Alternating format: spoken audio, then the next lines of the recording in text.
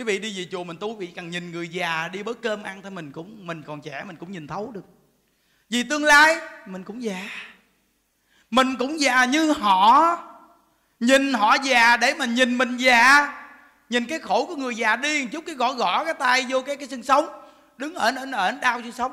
Nên những đức thường nói, những cái người mà nuôi người già những đức nói, thông cảm cho người già khó tính.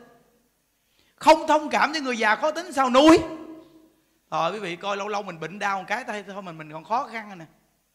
Không mà những đức thì có cái tính là bệnh rất là dễ nha quý vị. Bệnh cái là mặt tội nghiệp. Mà lúc nào mà sắp sửa hết bệnh là mặt thấy ghét. Ừ kỳ cục lắm, mỗi lần bệnh mặt tội nghiệp lắm, bệnh. Nằm ai đem cháo tôi lên nha. Ăn cháo đi thầy đồ này kia rồi này. Ờ để đi. Nói về sờ nghe, nói tội nghiệp kinh khủng luôn quý vị vậy mà khỏe lên cái là, để nó đi. Mặt kinh kinh lên liền, kinh khủng đi đó. Bởi vì thấy khỏe là cái mặt là biết thấy khỏe. Còn lúc nào mà bệnh lên chia sẻ Phật pháp đó nghe. Bữa nào mà bệnh mà lên mà chia sẻ Phật pháp nó lên. Ờ cố gắng thấy không? Cứ nghĩa là được con cái là khi bệnh hiền. Tại vì sao? Bệnh mà không hiền đừng cho người ta bỏ cho mà chết. Nên quý vị nhớ nghe bệnh mà câu có khó chịu người ta lo làm sao cũng không vừa lòng không vừa ý là người ta bỏ cho chết. Nghe không? Đó, mấy bà già. Con cái nó lo cũng vậy nữa mình tập á, dễ tính nghe. Nó, mình tập dễ tính đi ai người ta cũng thích lo cho mình. Trời ơi mình mà khó tính là người ta sợ dữ lắm. Rất là sợ nó thật sự mà nói thiếu tiền, thiếu bạc, chưa sợ bằng người khó tính. Cái người mà khó tính mà nó nó nó, cái gì nó cũng mà gọi là nói này nói kia, khó khăn, mình mình mệt mỏi gần người đó lắm. À. nên á, những đức nói rằng là tất cả người ở trong chùa mình á, mấy bà cụ già mà như đức bào mòn giết bà phải dễ tính. Mà vậy chứ cũng còn vài bà cũng dữ lắm, không dễ đâu. Nên những đức nói mà chủ nhật đồ này kia đồ mà như bên hộ pháp, như ở đây thì ít nè. Thì bây giờ thứ bảy còn lên được chứ mai mốt mà đông rồi là cho phật tử lên chứ mấy bà già ở trong phòng. Bây giờ không có ông bà cụ. Trong chùa mà mấy bà cụ bà ưa có tính gì nè? Bà nghĩ rằng chùa ờ, bà ở là chùa bả ừ phật tử người ta đang ngồi nhưng mà bà lỡ bà lấy cái mông bà đẩy người ta. Hắt người ta đang quên chỗ chầu. Mà người ta mà nói bà là bà kênh á. Ta nói bà là bà kênh, bà nói nè, chùa ai? Gọi là chậu bà nói gì đó bà nói là với chùa bả đó ở đây là ở tối ngày á chùa tôi. Cô là khách đến đây mà lạng hoạn người, người ta đang ngồi vậy mà bà lỡ bà ngồi kế bên bà làm lấy cái mông làm này. bà hắt người ta chậu là chào. Bà lỡ bà nói bà cô người ta ngồi sao bà lỡ bà hát người ta kỳ cục vậy? Người ta ngồi bà người ta cũng như bà ta lỡ người ta nghe pháp. Mình ở trong chùa mình mình mình mình mình, mình nhường cho người ta một chút đi. Người ta từng thiếu nhật ta mới đến lặng và nhường người ta đi nó không tay một phát tay ghét ghê không? Có giỡn đâu nghe quý vị? Nên quý vị đi về chùa gặp mấy cụ vậy thông cảm. Tại bà cụ gái có ai ngồi trên được, quay phim được á. Rồi nghe chữ đức giảng mới vui mới phát. Quý vị mới thấy mấy vị ngồi trên nó lỡ hát vậy đó. Ôi, tội nghiệp tới ghê. Nên từ nơi đó mà những đứa cũng gầy hoài đó ngày hoài nên bên hộ pháp là chủ nhật, nhưng đức không có cho lên đó quý vị. Không có cho lên ở trong phòng nghỉ ngơi. Ôi ôi, bây giờ bên hộ pháp mình là coi 329 người là thường trụ không. Còn cộng tu mỗi ngày là hơn trăm người nữa. Là tính ra bên hộ pháp là bốn trăm mấy chục người quý vị. Xuyên suốt luôn. Ngày nào của bên hộ pháp cũng là số lượng gì có lúc tăng lên khoảng hơn 500 là đoàn đồ đến tu đó, hơn 500 là ngày nào cũng đi rang vậy luôn còn quý vị coi như ở đây bây giờ là 300 hơn 300 người. Là hai bên quý vị thấy à. vớt hai bên là thấy thấy thấy, thấy 700 nằm, nằm gọn trong tay rồi đúng không? Bên đại tùng lâm với bảo tháp là khoảng cỡ ờ, chắc gần 400 thì vị thấy cái số lượng người kinh khủng không? Nó mà mà cái mấy cái dãy nhà này mà xong rồi bắt đầu là số lượng tăng lên này. bây giờ là người ta ào ào về đây nè. Nên, nên những, những đức nói rằng bây giờ mình gặp Phật pháp mà mình gặp được cái ngôi chùa gì tuổi già đó về để ở tu đi. Nhất là cái lúc những đức còn trẻ này nè, cái lúc tuổi những đức còn khỏe này nè, mà những đức lo là chắc chắn, yên tâm. Tại vì những đức có tâm quyết này, cái gì chứ những đứa có tâm quyết nuôi người già nghe. Không, nó đừng nói nuôi người già, nuôi người trẻ như đứa cũng có tâm quyết nữa. Ừ nuôi người là tôi phái à. Những đức nói thiệt nghe, một là nuôi con người, hai là những đức lo cho người chết thì những đức rất là phái tại những đức thấy đây là một đời người rồi mình cứ làm một đời người đi. Một đời người quan trọng nhất là khi còn sống được lo khi chết được quan tâm cái chuyện hộ niệm. Rồi một đời người thê thảm nhất mà sống cả đời mà khi mà gần chết mà bỏ bê tha, nằm đó mà như trời thấy cái xác chơi trội không ai hộ niệm cho mình thấy sao một đời đi qua tội nghiệp quý vị ơi. Rồi phần nhiều đa phần vậy là chết đi đỏ chân rồi. Mình nhìn cái cảnh tình đó thật là mình đau lòng thiệt bây giờ mình đặt mình vào người ta mới bị nghĩ một đời đi qua vì thấy đau lòng không? Phật nói rằng được thăng người khó được. Bây giờ được. Có thăng người. Thăng người khó được. Bây giờ có thăng người. Vậy mà bây giờ có thăng người mà để một đời đi qua mà gần chết như vậy vì thấy thê thảm không? Nên những đức nói cái công đức lớn vô cùng là lúc còn sống mà dạy người ta nuôi huệ mạng cho người ta. Và khi chết hộ niệm cho người ta, nên hòa thượng làm phòng hộ niệm là những đức nói quý vị, hòa thượng làm phòng hộ niệm là cái công đức vô lượng, nên đầu tư hiểu chưa? Đúng chỗ. Nên những đức nói vị thí dụ như, tu phước duyên thì ở đâu cũng tu phước duyên. Nhưng mà cái nơi mà nó đang phát triển, lợi ích cho người ta, là đầu tư vào mảnh đất này gọi là mảnh đất phù sa. Nên mấy bà già trong chùa mà vô đây mà mà mà nói còn giữ tiền là có ngày tôi bắt. Tại lo hết dân rồi, mà còn tiền tu mới được. Nhất là đi tu rồi mà mà mà để tiền để dành, nói vậy nè lỡ tu không được rồi có tiền xe mà đi gì thế nào cũng đi về à, chợ. Đã là đi tu thì chỉ có cái mạng à. Đem cái mạng này ra cược luôn. Đừng có nói dòng do chứ nha chúng ta đem cái mạng đi cược quýnh bài còn sợ. Chứ đem cái mạng mà tặng cho phật a di đà để làm việc trong ngày thì không sợ nữa. Không còn một cắt bạc trong túi để những đức lo. Mấy bà cụ già mà vô chùa mình tu, mấy bà yên tâm đi. Đồ đạc là chắc chắn có bạn không bao giờ mà thiếu cái quần nào đâu mà sợ. Thật sự mà nói, bây giờ bị cái phước lớn nhất mà quý vị biết rằng là không có giữ tiền dưỡng già mà ở đây người dưỡng, không có tiền dưỡng bệnh mà khỏi bệnh, không cần giữ dành, giữ gìn tiền mua quan tài, có đây những đức mua. Cho cháu ngon lành. Cặn tử nghiệp, hộ niệm luôn, phi phi. Đúng là số một nha quý vị. Quý vị thấy cái cuộc đời người ta, nhiều người người ta giàu mà người ta chuẩn bị tùm lum thứ cho cái cuộc đời người ta. Chưa chết mà mua cái mảnh đất chỗ chôn để sẵn. Mà đắt mắc lắm, đâu giỡn đâu chợ biết bao nhiêu tiền bạc mà nói. Vì mà mua cái chỗ miếng đất mà phong thủy tốt rồi để dành mà chưa chết. Thì thấy không? Bây giờ mình đi vô chùa mình tu, mình không có tốn tiền phi lý. Đất nước gió lửa trả về cho đất nước gió lửa. Ở đây nó rộng, ai có đau chân thẳng chân ra không sao đâu. Thông cảm. Hiểu không? Nên từ nơi đó mới bị biết rằng, gặp cái duyên này nghe, mình con cái giới thiệu cho cha mẹ già. Còn cha mẹ không đi, mình ở nhà lập ngôi tam bảo cho cha mẹ niệm phật, nuôi dưỡng cái huệ mạng cho cha mẹ. Cái việc làm này ý nghĩa dữ lắm. Còn tất cả các sư cô mà đi về đây yên tâm, lo tu đi khỏi cần đi đâu vòng do chứ. Thấy không? Ai nói gì mà cái câu kệ, miệng cuối cuộc đời hộ niệm cho tôi được. Cái dòng do cho nó mệt đi đâu xa hiểu không? Nó gặp ngay con người, nó có tâm nuôi con người ta. Những đức nó thật sự nghe cái gì, những đức được, những đức muốn cho chúng được á. Người như đức vậy đó. Mà nuôi con người là những đức nó thật sự nuôi tới bờ, tới bến luôn. Tại những đức biết cái việc này thù thắng. Không có việc nào thù thắng bằng cái việc nuôi con người đâu những đức nói thật sự. Con người là người ta cần được lo nhất. Nên mình lo cho con người là mình thấy đặc sắc nhất. Nên quý vị biết, có người mà làm việc này đó nghe những đức nói mấy cái bà mà chồng bỏ chồng chê, mấy bà đừng có ở ngoài đời, chứ chết nó mệt chứ mệt ngoài đời. Kẹt chẳng đã mà có con thì bây giờ vô đây nó khó. Con nhỏ nhỏ bây giờ nó còn đi học được thì khó khăn. Chứ mấy cái bà mà chưa có con gì hết mà chồng mà nó bỏ, mình nó tôi lại với mày, tôi cảm ơn. Hiểu không? Đi vô đây phước cho rồi đi để phụ những đức người tay hiểu không? Kiểu sùng sồn, nói chuyện nhau dễ hiểu hết rồi đúng không? Văn có cửa mà sợ gì? Hiểu không? Nó nên từ nơi đó mà. Vô đây, cùng nuôi người già. Thật sự mà nói, bây giờ mình làm cái vai trò này, mình rủ nhiều người làm. Một người làm được. Bây giờ đơn giản thôi, bây giờ ở đây sau này lập ra một cái cái cái cái ban mà gọi là nuôi người già khi yếu. Bây giờ quý vị, nuôi người già thì người ta phải có bệnh chứ.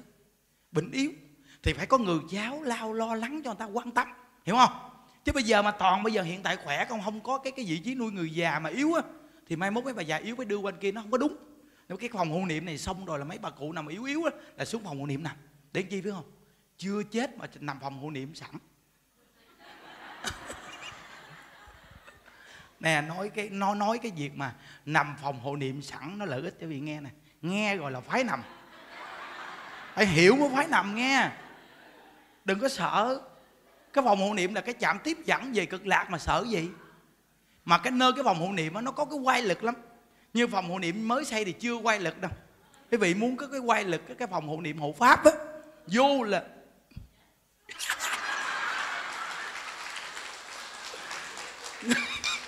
đi nhiều quá rồi. Từ khi mà nhân đức xuống đây tới giờ phòng hộ niệm đi biết bao nhiêu mà nó. Tại tùng lâm cũng đi nhiều lắm. Cái nơi mà nhiều người đi nó có một cái quay lực quay lực gia chi hiểu chưa? Không mà những đức nói cho quý vị nghe nghe người ngoài đời mà người ta chết đó quý vị. Đa phần những đức hỏi người ta đều là chết xong là gì báo mộng.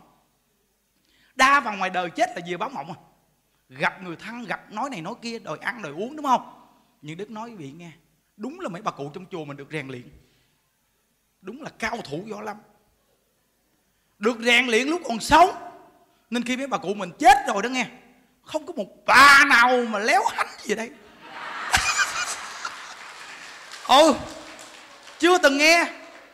Chưa từng nghe một bà già nào mà chết rồi mà nói mà về mà nói mà nói mà, mà gặp mình hay là nói là báo mộng gì mà ngủ mà thấy vậy chứ. Không không dám luôn. Không biết đi đâu mất tiêu. Chắc đi về cực lạc chứ đi đâu. Thấy không? Đi mất tiêu chứ à? À lạ vậy đó mà quý vị biết rằng ngày xưa như đức trên đà lạt nghe, còn có cái vụ mà mắc rồi xong á, đi về giữ cái giường. Mấy lần như đức xử lý mà, về giữ cái giường. Mỗi lần mà sắp người ta vô nằm cái giường, bởi vì con người mình nó chấp ghê lắm. Bởi vì đi vô đây mà những đức kêu xả tiền, không về nhà, không xài điện thoại, là đúng là gặp cơ duyên để đời này giảng sanh. Chứ gặp mà còn tiền đi về nhà mà giữ điện thoại thì không có giảng sanh đâu. Khó tu lắm. Nó vừa tu ra cái là bắt đầu con nó điện, mẹ, sao mẹ? Cái mình trả lời là, cháu của bà sao rồi à? hay không? Thì sao mà giảng sanh? Còn đây bây giờ không co bà nghe tin tức gì luôn. Viết mà xóa sổ trong trong trong trong bộ não luôn. Chỉ còn có câu ai với đà phật à. Thành tựu dễ. Ngày xưa trên kia là còn xài điện thoại, còn đi về nhà nghe quý vị. Trên đà lạt á, chết xong. Một cái giường bình thường thôi. Như vậy mà chết xong lìa, thiêu đồ xong hết trơn. Đưa người ta vô nằm cái giường đó, tối. Tối nó đứng. Ngay cái đầu giường mà ta nằm ngủ nó đứng mà mình thường lần sau ngủ nghe cái cảm giác. Cái người người ta chết rồi sao nó ưa bằng đồ trắng mà sao kỳ cục cái cha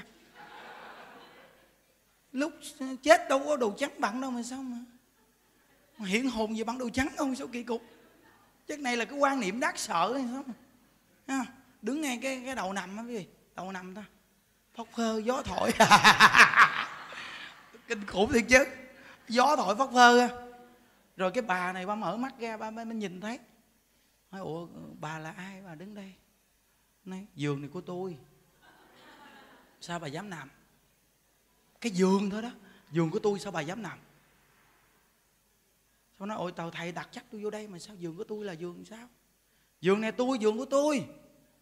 Bà đứng ra nghe bà đi ra nghe.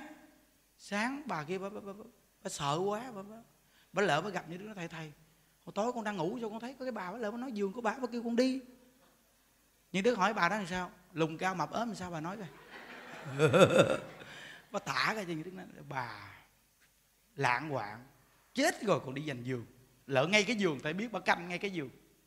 Lỡ ngay cái giường nói, bà nghe, bà ép. Nói với bà biết ra mỗi ngày giảng pháp nhắc nhở bà mà bà chết, bà còn dành cái giường. Đi. Đi. Đi về cực lạc.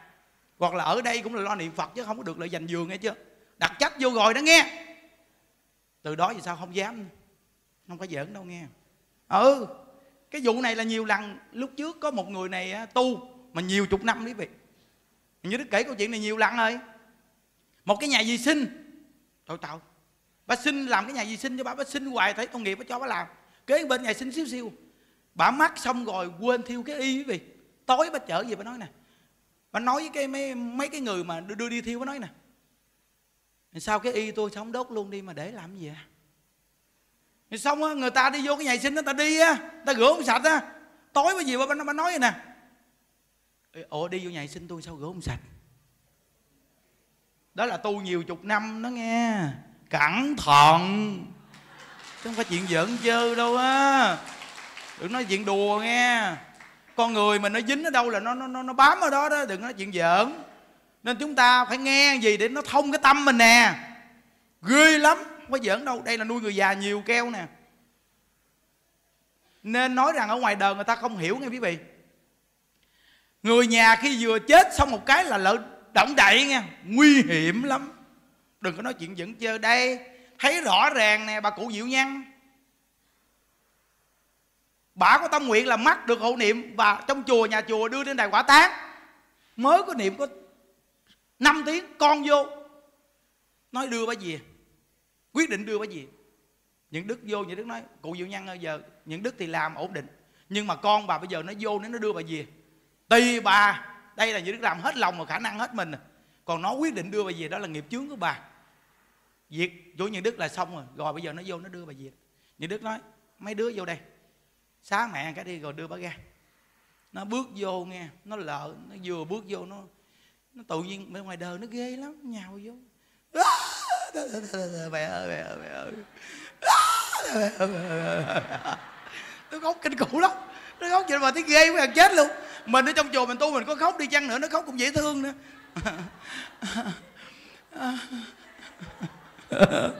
À, à, mẹ ơi mẹ ơi. Con nói vậy nè. À, mẹ ơi mẹ ơi mẹ làm thấy ghê chỗ là trời. Làm giả dối mình làm kỳ cục hơn cái gì nữa. Nó làm mình mình ngồi đứng gần hết. Mình cứ mình cứ hết hồn hoài à. Tại vì nó chơi nó chơi như ca vòng cổ mà. Nó làm nó làm mình hết thơ nữa chứ. Nó giống như nó hết thơ nó dùng sức á. mẹ ơi mẹ ơi nó làm nhỏ nhỏ xuống kìa. Mẹ ơi mẹ ơi mẹ ơi mẹ ơi mẹ ơi. À, Thứ khóc gì mà khóc vô duyên cái bụng mình nó khóc gì kỳ cục quá. Chứ nó xạo, khóc kỳ cục. Cuối cùng cái gì biết? Nó vừa đưa cái mặt gần bả bả đang chết thì trong chùa mà thường nhắm mắt gì, miệng khép.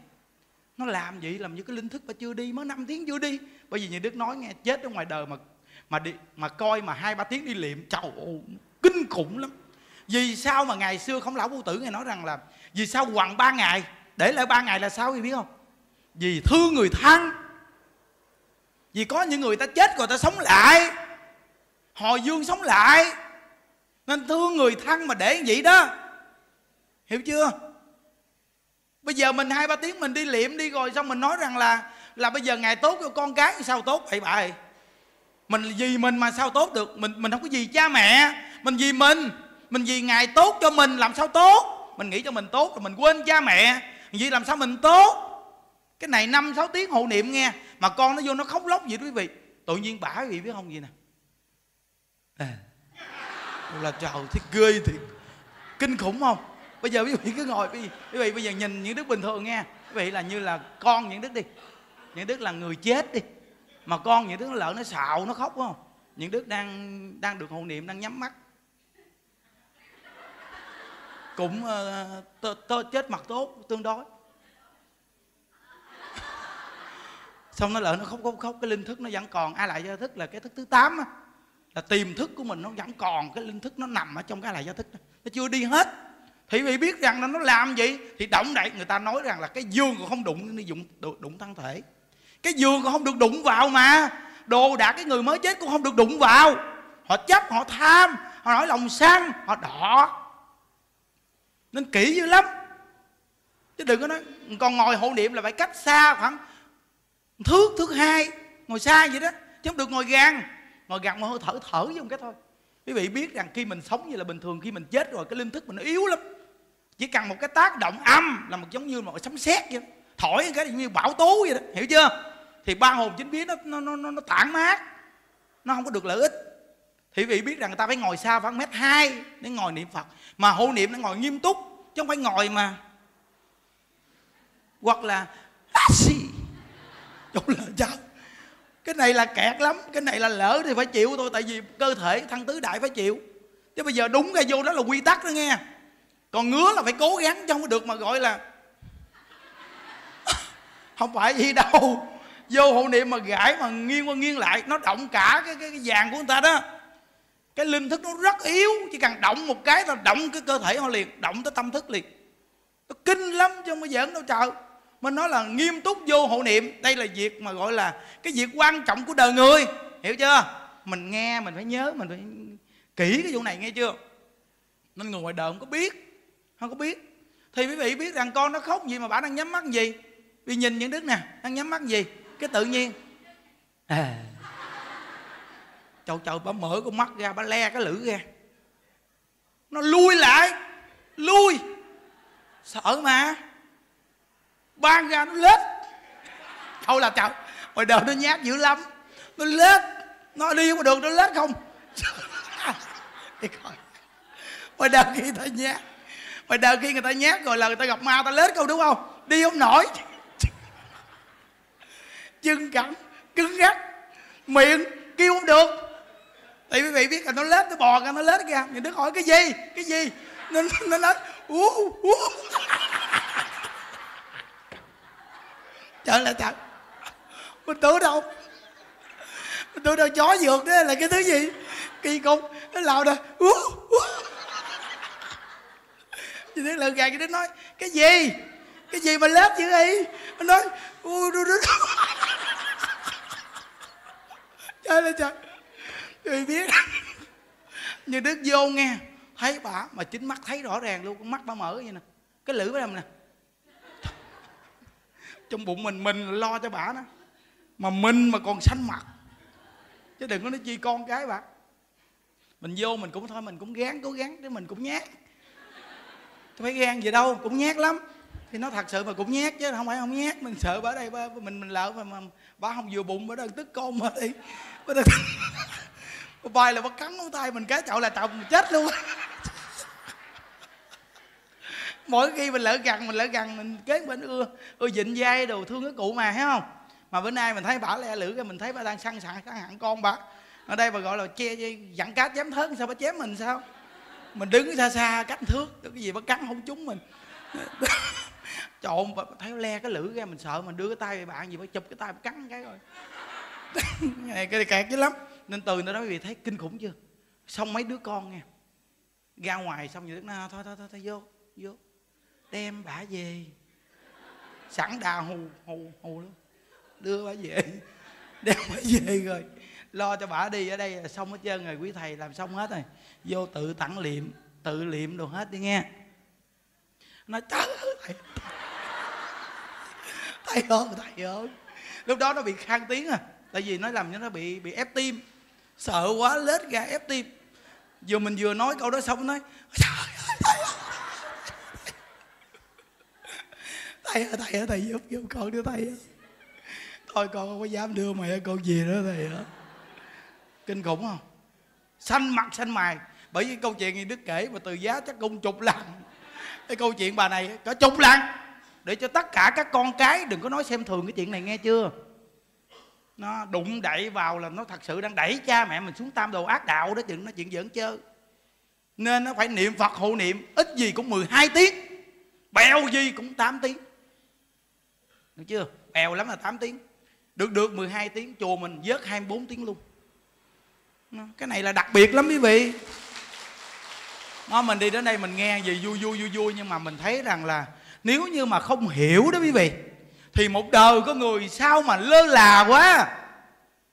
Đời người sao lơ là quá. Đối với môn tịnh độ này, nó hỗ trợ mình lớn dữ lắm. Tại vì cuối cuộc đời cái niệm phật suốt cho mình. Ngoài tịnh độ thì khó lắm. Cũng chơi trội lắm quý vị. Ngoài tịnh độ cũng chơi trội lắm. Ừ. chỉ có niệm phật à là niệm hoài được thôi. Còn bây giờ ngoài tịnh độ lại bắt nguyên ngồi. Đi ngồi ngồi ngay cái xác ngồi tới 12 giờ khuya nghe gió thổi. Nó ớn lắm. Trời là trời, ngồi tới chưa có vô được mà. Chưa vô định mà bây giờ ngồi nó còn sợ chứ. Kêu ngồi mà giống như có người ta thì giống như thiền định. Nhưng mà thấy người ta đi hết dân, nghe gió thổi tự nhiên. Cũng rung thấy mồ. Đừng nói chuyện giỡn chơi mà không có dám ngồi ban đêm đâu cái kiểu như nhát nhát, ngồi mình cứ nghĩ ai sau lưng mình. Ngồi chú rồi cái gì? Hiểu không? Nó kỳ cục vậy đó. Nên từ nơi đó chỉ có pháp môn niệm phật đó niệm âm âm âm, niệm hoài vậy đó. Niệm ngày này qua tháng nọ, niệm cũng được. Nó xây dòng với cứ tiếng mấy tiếng mấy nó làm tới, nó cứ thay đổi, làm hoài. Cứ a với đà phật, a với đà phật, a với đà phật, a với đà phật, hoài vậy đó, cho mình. Nó, thì cái pháp này là cái pháp thù thắng. Nó lợi ích rất là lớn, sức ngoại hộp luôn sức ngoại hộp ghê thiệt. Không? Nó, nó nói chứ thật sự mà nói á những đức cái gì chứ nói là nó đơn giản. Mà trong cái cuộc sống mà những đức gặp rõ ràng chia sẻ cho vị nghe. Rất là nhiều người chúng ta quý vị à trong cái cuộc đời này quý vị biết rằng mình lo cái chuyện mà về giàu sang quan trọng quá. Mà dành cái cái thời gian mà danh lợi nhiều lắm à. Có hơn nửa cuộc đời của người mình rồi. Mà bây giờ đi tu tu chứ cũng chưa buông được bao nhiêu nữa kỳ vậy đó. Nói hoài luôn mà không buông. À, ngày tu đồ này kia thầy ơi thấy thấy gì chứ. Buôn bán thì sao mà buông được? Khách khứa quá trời luôn sao buông? Thấy không? Hay chưa? Thấy không? Bây giờ giờ vì suy nghĩ đi. Bây giờ cái chuyện tu hành mà không cố gắng mình nhìn đi mình bệnh có ai chia không? Tiền bạc chia những đức ở trong chùa thấy rõ ràng có nhiều bà cụ, ba, bốn đứa con. Bà cũng có sự nghiệp, bà chia của cải, chia nhà cho con, mỗi đứa một căn. Hoặc là của cải. Chia xong rồi nó nói câu gì nè? Ồ ồ ồ. Tôi thấy bà không có công bằng đó nghe. Bà nói, công bằng cái gì? Tao có nhiều, tao chia hết chân cho tụi bây giờ còn công bằng không? Công bằng gì nữa? Sao cái thằng kia bà chia cho nó cái căn nhà mặt tiền? Còn tôi bà cho cái nhà hẻm. Cái miếng đất kia là miếng đất tiền nhiều, bà cho tôi cái miếng đất á, nằm tuốt trong ờ, hốc cà tó bán khó muốn chết. Bà không công bằng. Bà gom tất cả nhà đất lại, bà bán hết trơn đi, bà chia tiền ra. Ai cũng bằng vậy chứ là công bằng.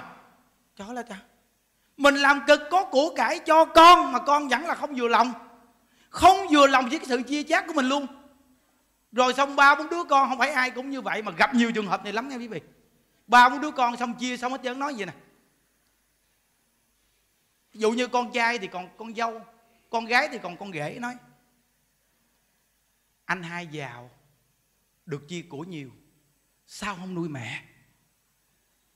Mình chia được có bao nhiêu đâu mà nuôi. Thấy chưa? Nó đùa qua nó đẩy lại nó hát tới nó hát lui nó hát xuôi nó hát ngược.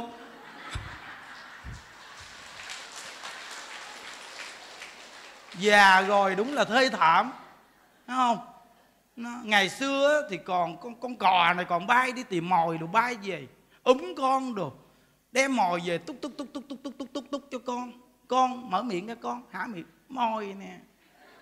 Vậy mà bây giờ nó kiếm mồi được rồi, bây giờ con cò già này bay không còn nổi nữa. Nó đá cò. Đá con cò ở đây, nó đá con cò bên kia, nó đá con cò qua nọ, nó đá trước, đá sau. Cuối cùng nó đá vào chùa hộ pháp.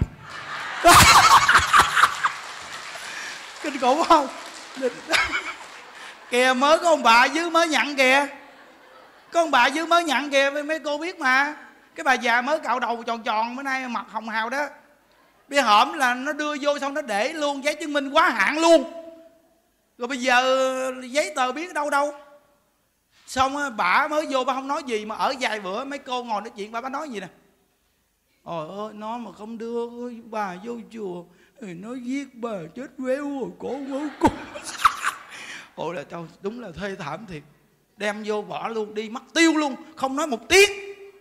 Nó có không? Có đó không phải ít đâu nghe. Không phải là bà già nào cũng là, là, phát tâm vô chùa tu đâu nghe quý vị. Cái người mà thật sự phát tâm vô chùa tu mà là giác ngộ ít lắm. Cái người mà hoàn cảnh đi vô chùa tu nhiều lắm. Nếu mà không có cái buổi giảng nhân đức mà mà mà, mà bào mòn cái tâm á là mấy cụ buồn khóc suốt à. Đây nuôi người già nè 11, 12 giờ khuya tôi đi lắm nè. Tôi là chơi giờ linh không một mười hai giờ khuya tôi đi tôi coi tình hình coi làm sao. Đôi khi mà đi mà mình mình mình mình, mình quá trang luôn. Quấn khăn đội cái nón chùm lại. Còn hai mắt. Mình đi mình đi. Vòng vòng mình coi thấy có mấy bà cụ ngủ ngay sao. Có khi mình đi lủi lủi lủi mình thấy một bà già đen thui ngồi ngay cái gốc cây. Mình mình cũng sợ mình tưởng nó ma. Mình đi đến gần gần mình coi thử là ai mình tự nhiên mình mình mình vừa đến gặp mình nghe mới làm nè. Trời trời, cái gì? Á thường ma mình đi mưa khóc thì biết không? Mình nói chứ không lẽ là ma trời sao kỳ cục. Mình cũng, mình sợ nhưng mà mình ưa kiểu mà tò mò, mình coi cái cái ma thiệt ma giả mình lỡ gần mình nghe. Con ơi sao đành lòng bỏ mẹ với con ơi đà, người ta người ta còn sống để mình ngồi kế bên.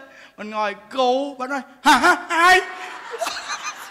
Thì mình quá cha quá, đâu thấy mặt mày, đâu sợ quá. Mình lỡ mình vỗ vai bắt cái nói cụ cái nói á ai? Nói, thầy nè, con. Trời ơi, đến nói chuyện với bà thì nói ra hỏi han cái gì? Tại sao mình cứ thuyết pháp hoài cũng được. Là cái tính này, đức nó thích hỏi chuyện. Nhiều chuyện, nhiều điều nó hỏi nó hỏi nên nó giải tỏa được cho người ta. Hỏi này kia rồi hỏi rồi xong, giải tỏa, chỉ dẫn người ta. Rồi xong bà mới đưa bà về phòng cho bà ngủ. Rồi bắt đầu là sáng đem câu chuyện đó kể cho mấy bà già khác. Nó từng câu chuyện câu chuyện mà kể ra, bắt đầu con người ta ở được ở trong chùa. Nó thông cái tâm, nó cởi mở cái tâm, nó được ở trong chùa. Chọn cái này là cái trường hợp này là như đức gặp nhiều lắm. Không phải là cái chuyện mà giác ngộ đi vô chùa tu đâu, quý vị ơi. Nhiều cái là hoàn cảnh nhiều lắm mười người là nó nằm chiếm ưu thế bảy người hoàn cảnh nè mới đi vô chùa tu. À, nên nó cái người thế gian người ta nghĩ mình đi tu là giống như hết thời quý vị. Hơi thảm á.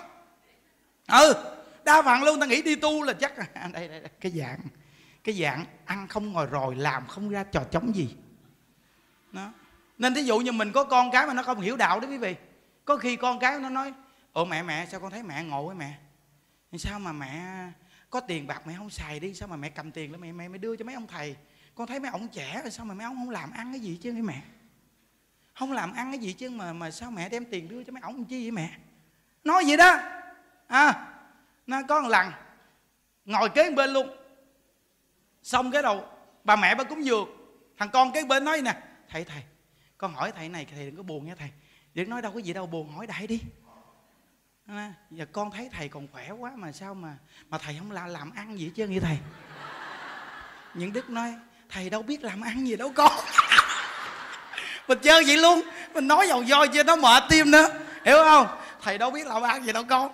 Vô chùa thì tụng kinh gõ mỏ thôi làm ăn gì đâu con? Nhưng mà con nhớ có những việc thầy làm ăn con không làm được đâu. Hiểu không? Cuộc đời con người con ơi. Có nghĩa là cuộc đời con người là có những công việc á mà người ta làm được mà con làm không được. Mà có những việc mà con làm được mà thầy làm không được. Nên chúng ta trang trải nhau mà sống.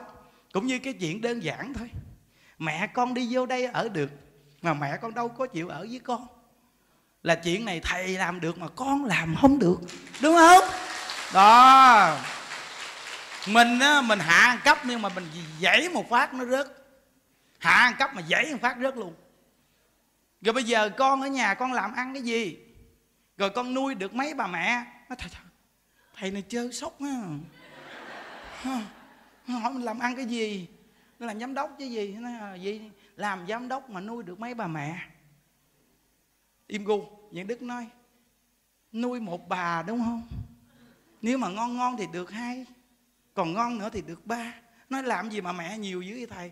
Nói thì một bà mẹ đầu tiên cứ về một bà mẹ thứ hai là chôn, một bà mẹ thứ ba là thêm nữa. Hiểu không? Con nuôi ba bà mẹ đó có chừng con nằm chèo queo đó con.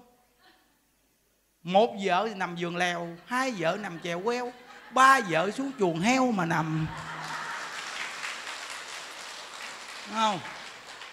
Bây giờ con nói thầy không có biết làm cái gì, con vô coi bao nhiêu bà già thầy nuôi, bao nhiêu bà mẹ. Còn con con làm ngon quá, con nuôi được mấy bà mẹ nên cái thông điệp này gỡ đến cho tất cả những người hữu duyên nghe. Làm ăn được có tiền nhiều, nhưng hãy nuôi một bà mẹ mình cho thật tốt. Nhớ.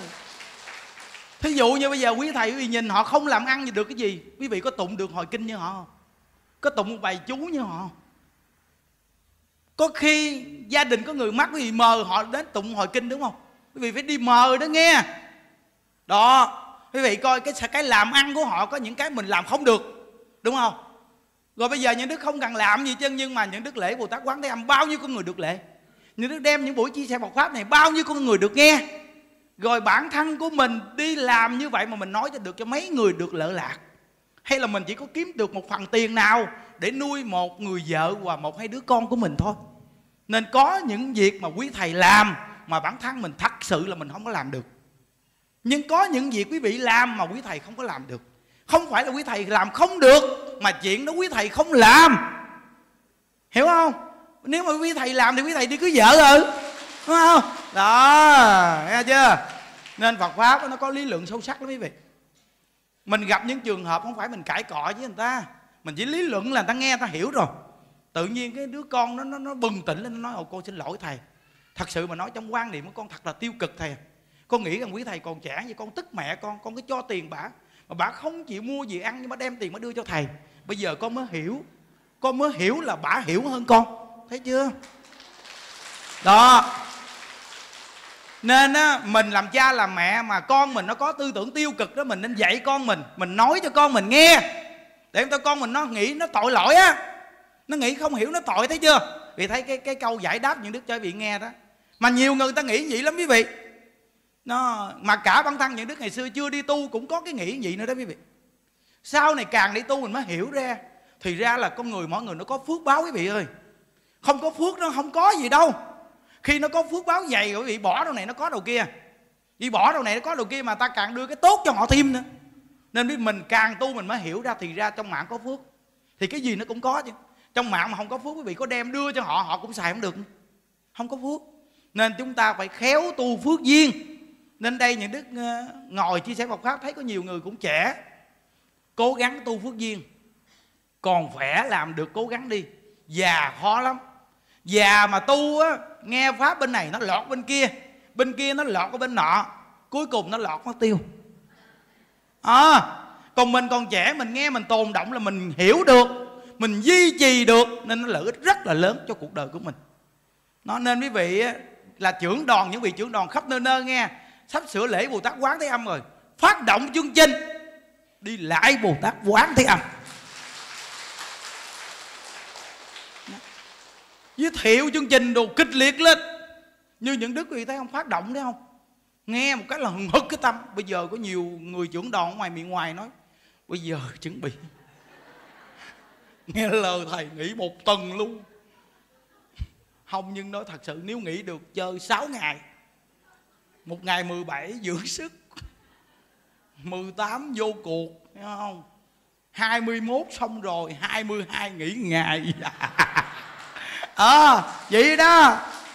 À, nên phải như vậy đó quý vị biết rằng chứ đừng có đừng có hối hả. Đi tu hối hả làm gì? Làm được sắp xếp nghỉ đi. Đừng có sợ bị đuổi bị đuổi về chùa.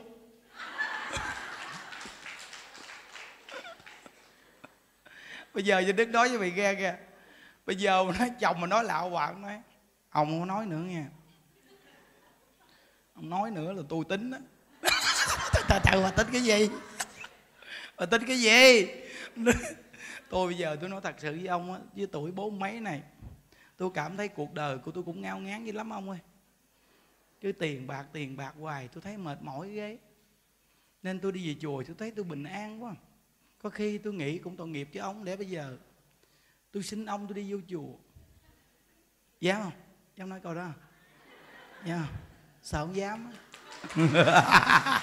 sợ không dám nha, ví dụ như la gầy mình nói mình này kia đó. Mình thì cũng làm hết lòng, mình làm người vợ hiền đàng hoàng, cố gắng mà. Cứ nói này nói kia mình hoài, khó chịu quá. Có những khi mình không phải là câm miệng hoài được. Có những cái mình không phải hổn, nhưng mà nói nhẹ nhàng thôi. Tôi thấy cuộc đời tôi sao khổ quá mà từ khi có gia đình tới bây giờ tôi thấy khổ nhiều lắm. Nên bây giờ tôi biết Phật pháp rồi, hình như là, hình như là đối với tôi là cái nợ đời nó sắp hết ông trời trời mà nói gì hả? Nói nhẹ nhẹ mà nó đi sâu rồi nó thấm, ghê lắm, hiểu chưa? Nếu mà ông không thương tôi nữa, thì thôi ông để tôi đi vô chùa ở luôn được không? Nói một câu, tại vì cái câu này phải tính cho kỹ nghe. Một là nó nói ừ ừ là đi liền, tại vì mình mình muốn luôn mà. Chứ đừng có dọ nghe. Dọ mà nó nói ừ mà ở lại là quê lắm. Từ đó sao nó dằn vặt cho mà biết. Nên câu này là phải suy nghĩ cho thật kỹ. Một là nó cho đi đi luôn. Hai là nó kêu ở lại thì từ đây về sau, anh phải hỗ trợ em cái chuyện tu hành. Em sẽ làm hết lòng chuyện gia đình, làm vợ đàng hoàng. Em đi không mắc một miếng thịt nào đâu, đừng có sợ. Em càng đi chùa mà thịt nó càng nhiều mà. Đúng không? Nên từ nơi đó mà anh cản cái gì? Em càng đi chùa em càng hiền mà. Mấy bà hiền đi. Mấy bà đi chùa mấy bà càng đi càng hiền đi. Thì người ta tin tưởng tôi. Còn nếu bây giờ, mấy bà đi chùa về mấy bà hung dữ với chồng. Nó nói, ông thầy đức dạy cái gì? Dạy cái gì mà bà về bà hung dữ với tôi, bà hổ với tôi? Bà chữ cha, chữ mẹ tôi. Đi tu mà vậy đó hả? Xài xể tôi. Tôi không ăn chay tôi tại sao bà nói tôi đọa đi ngục? Tôi không niệm phật kệ tôi bà niệm đi. Tại sao bà nói tôi là cái thứ nhất xiển đề đề là cái gì đề hiểu chưa? Mình hiền đi. Mấy bà cứ hiền hậu đi. Chồng la không có giận, không có đổi sắc mặt, không có ụ. Thấy không? Chồng la mình, cái mặt mình dễ thương. Chứ đừng có mà la một cái. Nó thấy ghét rồi, thấy chưa? Tu gì mà kỳ cục với tu cái mà nói tới cái mặt. Cái gì? Cái gì? Nói cái con nó đi nó ờ, không không được rồi, không đúng chút nào chứ. Mình tu là mình nhãn, mình tu mình nhãn người ta không tu. Nên người ta la mình cái mặt mình bình thường, mình mình dịu cái mặt xuống. Chứ đừng có mà la một cái, gì? Coi không được rồi, thấy chưa? Nó coi không được rồi đó. Nó, vậy bây giờ mình mình hiền đàng hoàng, mình làm hết trách nhiệm mình đi. Rồi cứ nói mình hoài, cứ nói chuyện tu hành hoài, mình mình nói lại vài câu cho nghe nếu bây giờ mà ông cảm thấy ông không chấp nhận tôi thì thôi ông để cho tôi đi chùa đi. Tôi vô chùa tôi ở luôn trong chùa. Tôi cạo tóc nè. Hiểu chưa? Xong nó nói thôi, thôi thôi thôi được rồi thôi thôi thôi thôi thôi. Tôi nói vậy thôi. Bà từ hôm nay bà đi tu đi chủ nhật bà đi thứ bảy bà đi đi. Tôi nhà tôi lo hết cho bà. Tôi không có nói bà nữa.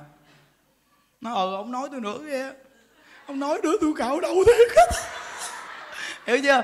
Nó, nhưng mà phải tính trước nghe nếu mà nó nói nếu mà chồng nó nói nè được bà đi đi. Thì lúc đó nói chờ chờ không lẽ ông kêu tôi đi thiệt chứ đó.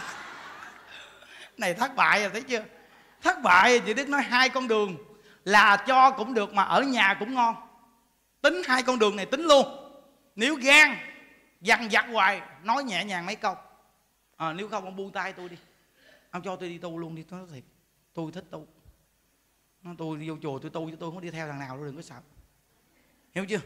Nó, vậy đó mà nếu mà kêu ở lại, kêu ở lại thì ông phải có cái cái cái cái cái việc mà ông phải chấp nhận cho tôi để tu hành được niệm phật đồ, cái này kia, tôi đi chùa rồi ông phải cho phép tôi. Còn những ngày tôi ở nhà tôi hết lòng lo con cái gia đình, tôi làm vợ tròn vẹn hết trơn, cái gì tôi cũng tròn vẹn hết trơn, tôi chiều hết. Chiều hết, thấy không? Nói tu tu cho chiều lắm, chiều hết tại vì mình hiểu trả nợ mà. Mình đã hiểu trả nợ mình phải chiều chứ đâu phải mà mình tu mình tu thì cái chuyện của mình tu còn nó đâu có tu. Mình ăn chay chứ nó chưa có ăn chay. Hiểu câu ăn chay không? Hiểu chưa? Hiểu không? Nên từ nơi đó bây giờ mình ăn chay nhưng nó chưa ăn chay. Thì bây giờ nó muốn ăn mặn thì mình cho nó ăn mặn. À. Hiểu không? Hiểu chưa? Hiểu chưa? Mở rộng ra nghe. Đó thì mấy bà mang gì thì mấy bà làm tròn trách nhiệm hết rồi. Đối với chuyện làm vợ, mấy bà tròn trách nhiệm, tròn trách nhiệm hết chưa vậy những đức nhắc nhở gì đó quý vị coi á, đối với cái chuyện gia đình quý vị. Quý vị về áp dụng học pháp vào gia đình quý vị, rất là đặc biệt. Chúng ta bây giờ biết tu rồi, tin hết, hoàn toàn nhân quả hết. Đến với cái cuộc đời này, thật sự mà nói, nó vô thường lắm. Nó đi bất tử lắm. Nên chúng ta sống làm sao mà ngày nào cũng vui đi quý vị. Đừng có buồn nghe. Đừng có buồn để sống nghe. À. Nó dù gặp nhau chưa có cho nhau một cắt gì đi chăng nữa, nhưng mà đừng có buồn để sống. Gặp nhau một cái, gặp nhau một cái, chào thầy, hay gì đạo phật à chào con, hay gì đạo phật vậy cũng cảm thấy thích thú rồi hiểu không quý vị? Gặp nhau cười một cái là thấy hay rồi. Nó, chứ đừng có mà kiểu mà gặp nhau mà buồn khổ, chán nản. Này kia, đã nghe hết trơn rồi, đừng có buồn nữa. Thiếu nợ thì trả đi. Than van làm gì? Hiểu không? Đó thiếu món nợ này ở trong cuộc đời này cái nợ nào trả nợ nấy. Trả đi để về cực lạc. À, trả đi để về cực lạc. Không trả nợ ở đây thì trả tam đồ ác đạo. Không trả ở đây thì trả tam đồ ác đạo. Mà trả ở đây nó nhẹ một ký. Trả tam đồ ác đạo nó nặng á ngàn ngàn ngàn ngàn ngàn ngàn ngàn ngàn ngàn ngàn ký. Trời ơi, cái câu này không giải thích nổi cái chuyện ở trong tam đồ ác đạo nó khổ đâu. Nên quý vị tụng trong kinh địa tạng rồi quý vị thấy không? Mà nói đến cái việc mà gọi là địa ngục là cái nghĩa là khóc, không chịu nổi. Giống như vua lý thế văn mà ông đọa địa ngục mà hỏi địa ngục sao là ông khóc không à? quay quay. Khổ quá. Quá khổ à hiểu chưa? Nên bây giờ mình ở đây mà bị chồng đánh chồng chửi một chút. Nhẹ sơn. Biết tu rồi trả vèo làm đi. Ngày xưa mà nói đụng tới một cái là kênh liền bây giờ chửi một phát. Phun nước miếng vô mặt lấy nước miếng rửa mặt. Thử coi sao. Mình muốn giảng sanh mà. Muốn giảng sanh mà quýnh cái tát vô mặt. Ai với đạo phật? Tát vô mặt. Ai với đạo phật? Xong đó, bà làm gì gì cái tiếng kia, mà niệm phật hoài, quýnh mà bà niệm phật hoài. Muốn giảng sanh mà. Thấy không? Thì tôi muốn giảng sanh mà, chứ làm gì? Xong vừa nói muốn giảng sanh bóp muốn giảng sanh mà. Trời ơi quý vị mà như vậy thì sao? Những đức nó thật sự chứ đánh không nổi nữa đâu quý vị à. Đánh không nổi nữa. Bây giờ đem cái mạng này trả luôn. Xả cái mạng luôn để về cực lạc luôn. Dám không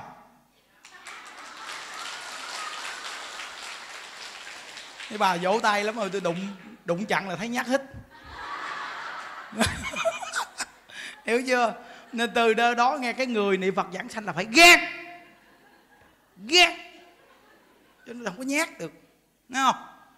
Nó quý vị coi, bây giờ ở đây đông gì nhưng mà như đức rủ quý vị về thấy không? Như đức có bao giờ nghĩ mà hết gạo không? Không. Chúng ta hết gạo một phát coi cái lòng người sao? Nó uống nước lạnh không thử coi vui không? Trời ơi, qua cái trận dịch bệnh mà bên kia bệnh với bên đây đúng là tình cảm sâu sắc. Đúng là thấy đẹp thiệt tình người. Như những đức bị dịch nặng nè, dịch chúa nè. Dịch chúa nè bị dịch thở không nổi nghe. Niệm phật có dễ đâu nghe.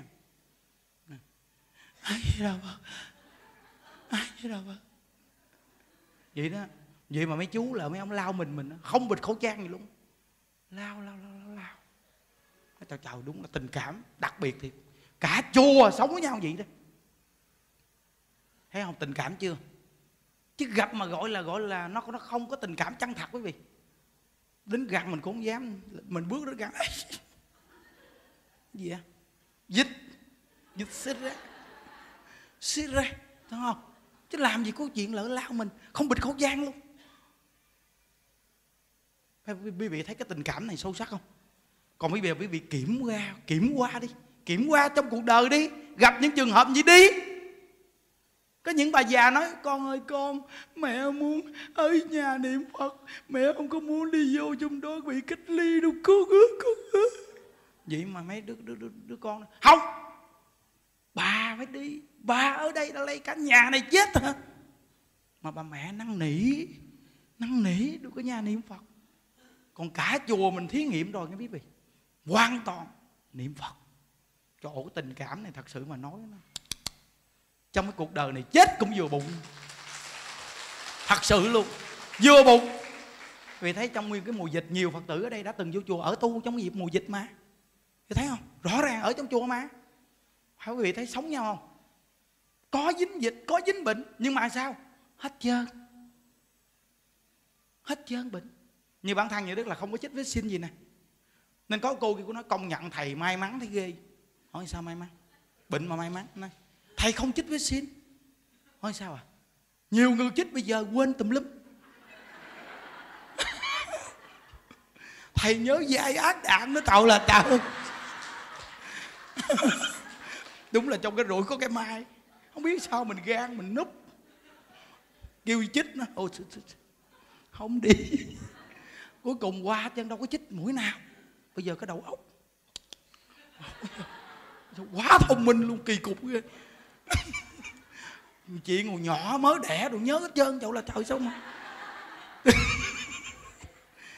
Ồ, quý vị biết tự nhiên sao nó nhớ là hết trơn? Quý vị ơi chuyện ngày xưa làm sao sao?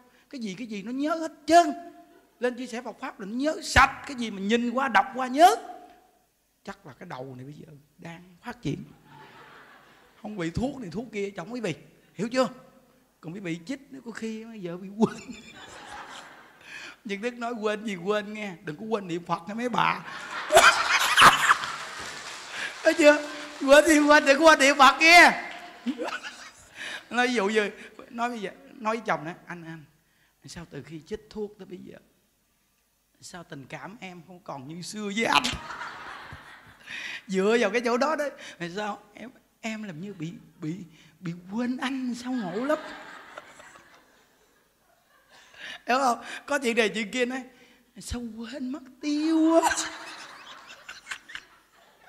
cái kiểu này mà thiếu nợ người ta đó, lỡ đòi nói, ủa?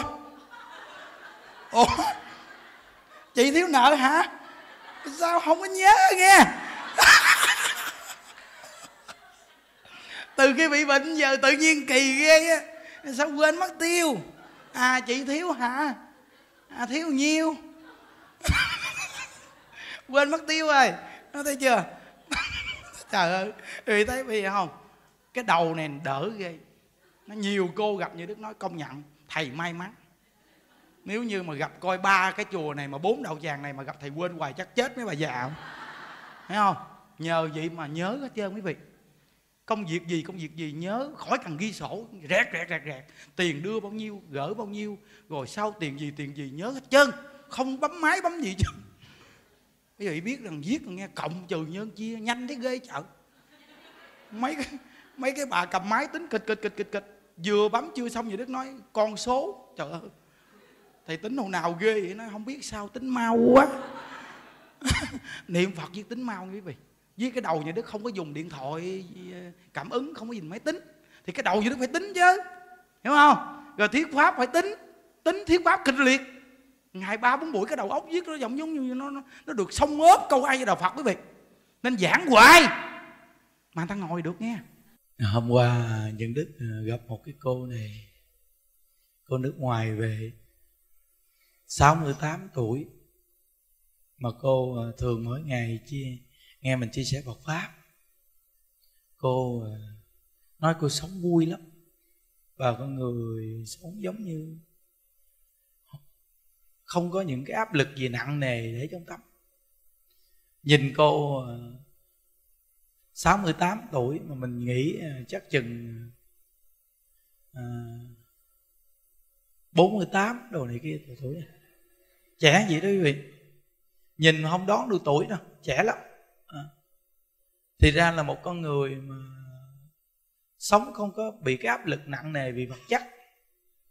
Rồi mình không có buồn giận hay để trong tâm. Nói chuyện thì rất là hịch hạt rất là tự nhiên nha mà một người vậy mình gần gũi mình nói chuyện mình cũng thích nữa. À, nói chuyện là thấy thích liền. Tại vì họ nói chuyện rất là hịch hạt tự nhiên lắm. Muốn nói gì cái nói câu tự nhiên lắm không có kiểu như mà ờ, à, đón trước đón sau gì nó nó mệt mỏi. À.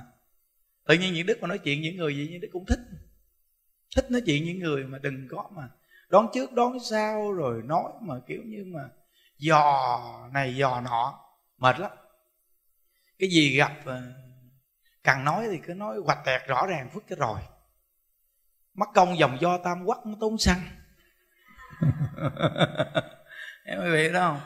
Cái cuộc sống bây giờ nó đã bận biểu lắm tìm cơm ăn áo bận đã khó khăn mà cứ dòng do tâm quắc chỉ cho nó mệt.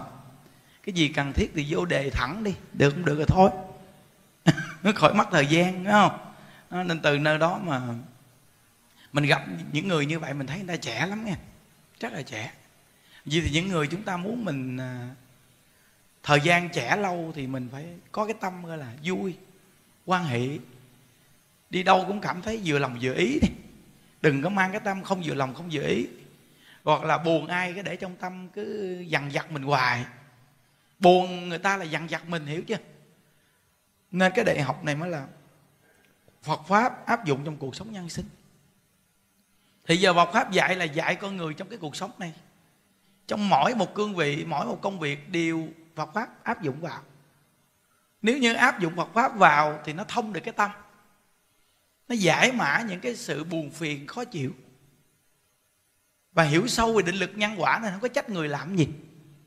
Tại mình biết rằng mình gieo cái nhân gì, mình chịu quả báo gì, bây giờ trách trách ai cái gì bây giờ?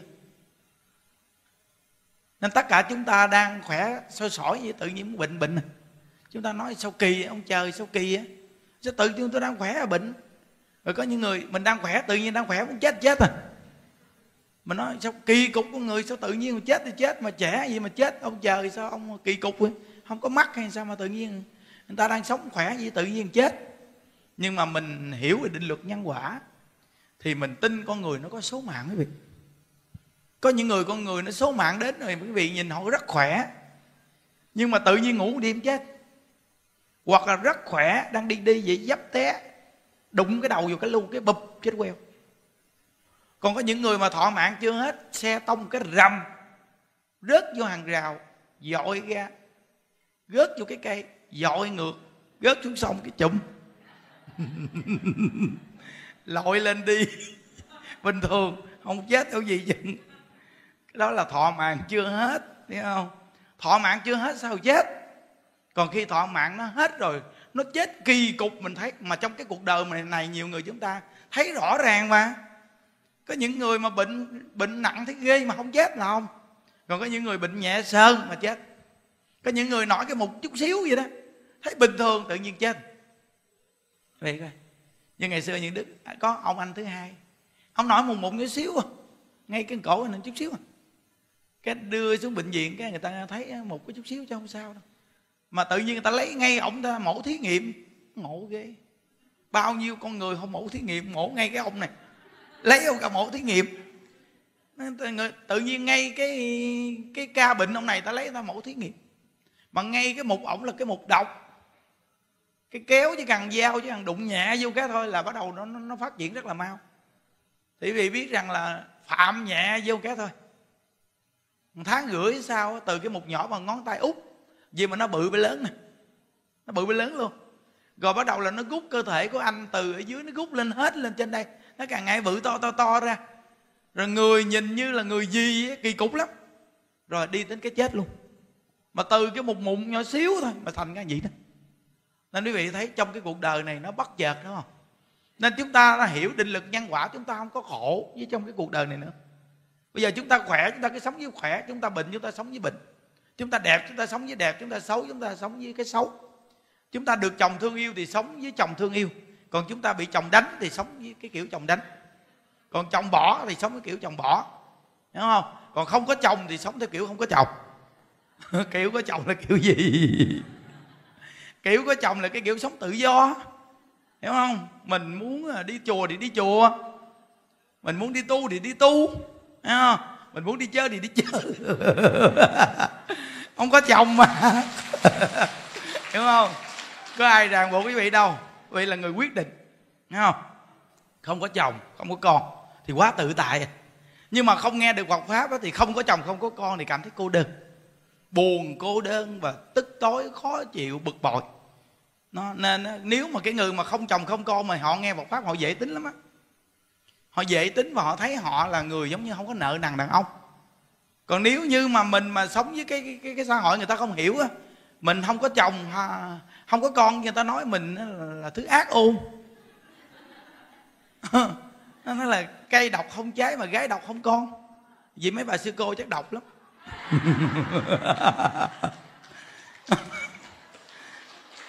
có con đâu. Nhiều người đi tu từ, từ khi còn trẻ người ta có chồng có con gì đâu đúng không? Nên con người người ta nó không có nợ đàn ông nó không có nợ con cái chứ không phải là độc. Nhưng mà bản thân của mình á không nghe đạo rồi có khi không có chồng không có con mà lại khó tính. Quý vị để ý thì khi mà mình có chồng vào một gia đình đó mà gia đình đó có ờ, còn ờ, chị chồng hay gì mà không không có chồng con gì chứ á? Trời, có khi mình làm dâu mà với mẹ chồng dễ mà gặp bà này khó. Bà này bà chờ bà chăm chích, bà nói này nói kia, nó khó. Chẳng ai phải cụ. Thì suy nghĩ đi. Mà tại sao mà gọi là không có chồng mà khó? Không có chồng cứ nghĩ mình là người nghiêm túc, người nó đặc biệt. Rồi thấy vợ chồng người ta giỡn giỡn, cũng thấy bực mình. Rồi thành cái khó. Tại vì bản thân của mình nó không có. Đó đó là gọi là không hiểu đạo không phải là không muốn có mà là không có. Hiểu chưa? Nó còn nếu như quý vị mà nghe đạo rồi thì nó giải mã cái tâm không có là do mình không có nợ. Mình không có nợ thì mình không có. Vậy thì mình thông cảm cho người ta khi người ta có duyên có nợ nhau. Ta thương yêu nhau mình mừng giùm cho người ta. Thì tức khắc cái tâm trạng con người mình vậy thì nó cởi mở nó rất là dễ tính rất là dễ thương. Dù mình không có chồng có con nhưng đi đâu cũng có người thương yêu có người giúp đỡ. Ai cũng muốn nuôi mình chứ. Còn mình chắn ờ, khó khăn còn hơn cái gì nữa. Thì bây giờ ai đâu mà chịu nuôi mình. Trời ơi, khó, tao không chịu nuôi đâu quý vị ơi. Ai mà đi rước cái bà khó gì nuôi? Thật sự mà nói chỉ có những đức thôi. Rước thí, rước đại đem gì không có coi dãy coi gì chứ cái đụng đâu lụm, rước đem gì thấy không? Khó dễ cũng đem về đây nhưng mà chùa mình á nó là một bộ máy à, bào mòn gai gốc khó cái nào khó vô chùa mình thời gian cũng phải dễ. Nên, nên mấy bà cụ bà bà nói những đức rằng là nanh con có dài cỡ nào thì thầy cũng cắt được. Nó bà nói như đức vậy đó. Từ nơi đó vị biết rằng là ngày nào những đức cũng nói nói viết rồi nó rụng mấy cái gai gốc hết. Thấy chưa? Nói hoài bào cái bào hoài bào mày xuyên mà. Ngày nào cũng nói, lúc thì nói mạnh, lúc thì nói nhẹ, lúc thì vuốt ve, lúc thì nói giống như xúc động, xúc ờ, ờ, xúc cảm trong lòng mình. Trời nói đủ cách. Vậy mà viết từ từ rồi nó chuyển hóa cái nghiệp của người ta. Nó giống như bây giờ, quý vị coi, sắp sửa tới lễ viết quan âm. Buổi giảng nào nhìn nó cũng nhắc, thấy chưa? Làm cho người ta mà có nhiều người nói rằng là thật sự chứ thầy, con bận con không đi được luôn nhưng mà thầy nói viết rồi, con phải tìm mọi cách để đi. Đó, không phải đơn giản nghe à. Thì mình hiểu rồi. Mình hiểu cái phàm phu mình là chúng ta phải cần nỉ non, phải cần nhắc nhở họ mỗi ngày. Nên có người hỏi nhân đức rằng là, nghe pháp và niệm phật điểm nào quan trọng? Nhân đức nói, người xưa thì niệm phật quan trọng hơn nghe pháp. Còn người nay là nghe pháp quan trọng hơn niệm phật à, người xưa căn tính ta cao lắm quý vị chỉ cần nghe qua một lần là người ta người ta nắm là người ta tu luôn vậy đó. Người ta không cần nghe nhiều đâu là người ta tu luôn vậy đó kiên nhẫn lắm. Nhưng người bây giờ thì chúng ta rất dễ dao động. Chúng ta lang thang tứ tung lang thang. Nên phải cần khuôn họ nhắc họ suốt. Nên những đức nói bây giờ nghe pháp quan trọng hơn niệm phật. Vì khi nghe pháp nó hưng khởi cái tâm niệm phật thì niệm phật nó không có bỏ cuộc. Còn nếu như mà không nghe pháp niệm phật viết nó nhạt nhẽo. Mà nhạt nhẽo viết rồi chán bỏ niệm phật luôn nên cái việc nghe pháp cực kỳ quan trọng. Cái việc mà bổ túc cho cái người ta tu, khuyên người niệm phật là đang khuyên mình niệm phật, việc này quan trọng dữ lắm. Nó nên á, ngày 18 tháng 2 lễ viếng quan âm là ngay đây nè. Chùa mới này chúng ta tổ chức là bữa đầu tiên đó, ngày 18 đó. Thì giờ này chúng ta cũng chia sẻ Phật pháp bình thường gì nè quý vị. Và chùa mình lễ viếng quan âm bây giờ là đông đông dữ lắm. Nên từ nơi đó cái thờ khóa buổi sáng chúng ta cũng khó lễ Phật được lắm nên những đức cũng lấy cái buổi sáng niệm địa chung xong chia sẻ Phật pháp một chút. Những đức nghĩ rằng con người rất đông về chùa, nên mình nhắc người ta những cái căn bản quan trọng nhất khi người ta vô chùa. Tại vì nhiều người trưởng đoàn người ta dẫn người mới đi nữa. Mình nhắc người ta làm sao mà mình kích thích người ta mà người ta đi về chùa mà người ta có một số quy tắc mà người ta hiểu. Để còn người ta tu người ta được sự lợi ích. Chứ bây giờ kêu lên lễ phật họ lễ mà họ không biết cái gì á. Còn mình thì mình biết rồi, mình muốn lễ cho nào mà không được nhưng mà cái ngày mà lễ lọc mình thì chia sẻ Phật pháp về nhân sinh cho người ta nghe, nó quan trọng dữ lắm. Có những người ta về chùa người ta không muốn lại quan âm ta đi chơi thôi, mà ta nghe mình nói chuyện xong ta lại. Ta hiểu được cái việc lợi ích làm sao mà lại quan âm, lợi ích làm sao mà niệm phật, lợi ích làm sao mà nghe pháp. Từ nơi đó mà ta phát tâm ta tu luôn. Này quan trọng lắm. Nên á, hàng phật tử khắp nơi nơi, thí dụ như chúng ta đến trước đi. Trước vài ngày rồi chúng ta qua chùa mới này nè còn với các vị quen thì dễ à. chỗ nào vị cũng biết bị ghé chứ. Còn cái người mà người ta mới mới ha đi thẳng tới đại tùng lâm. Xong chúng ta qua chùa mới này luôn. Có thể sáng 17 chúng ta đông người thì chúng ta cũng niệm Phật rồi chia sẻ Phật pháp một chút. Ê, sáng 18 mình nó lộn. Sáng sớm 18 á ngày 17 thì về đây tu bình thường. Đòn đòn rồi về đây cái chỗ ở sẵn hết xong sáng 18 là chúng ta khi ngồi niệm Phật một chút rồi chia sẻ Phật pháp một chút. Rồi 8 giờ 30 sáng này là chúng ta niệm Phật, chia sẻ Phật pháp luôn. Rồi phóng sanh cũng lý thực. Rồi chiều 1 giờ 30 thì chúng ta cứ vậy mà làm. Tối lại thì chia sẻ Phật pháp xong. Chúng ta lễ 500 danh hiệu Bồ Tát Quán để làm tại đây.